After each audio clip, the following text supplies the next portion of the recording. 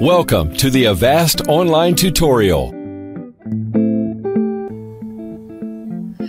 Open your Avast user interface by double-clicking the icon on your desktop. Click the Settings icon on the left side and in the new window select Subscription on the left side.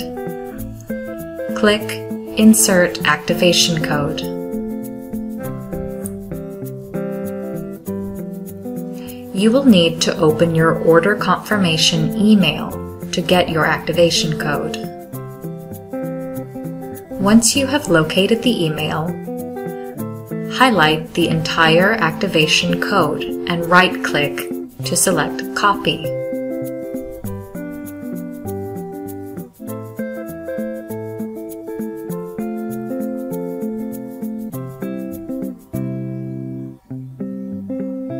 Then go back to the Avast user interface. Right-click on the white space for activation code to select Paste.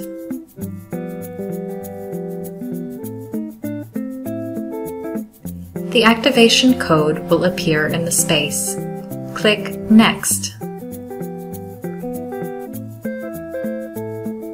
When the activation is successful, a confirmation appears just click OK.